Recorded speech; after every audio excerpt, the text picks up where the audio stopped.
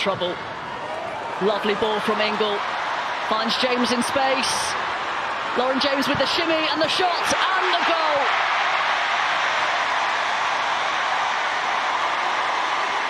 Clinical. A quite brilliant counter from Chelsea. And Lauren James had it covered all day long. 1 0 to Chelsea. Yeah, you'd absolutely bank on Lauren James to put the ball away there, but that's come from Liverpool's turnover. You know, Jenna Clark, she's won the ball. For me, she's done the wrong option of going inside. She should have come down the outside. She gives the ball away. It's meant to be for Höbinger, but it's a hospital pass. She stretches, she loses it, and obviously because Jenna Clark stepped in with the ball, she's now left that space there, which Lauren James just sat in. I mean, it's a great finish in the opposite corner, but that has come. That will... Lovely turn, though, from Van de Sanden. In behind, will there be an instant response?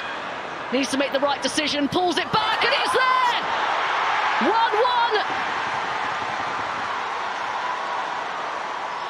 That is absolutely brilliant from Liverpool. They strike back seconds after conceding. All square. You know, I'm not really a stats person, but they do say in football that you are most vulnerable once you have just scored a goal, and it's just proven there as well. Höbinger does really well. Action can have its effect even on the best teams. Here's Lauren James. That's a really good ball. Fantastic from Lauren James on a plate. And Aggie Beever-Jones scores for the fourth consecutive time. And Chelsea back in front. What a moment for Aggie Beever-Jones. Scoring for her hometown club at Stamford Bridge.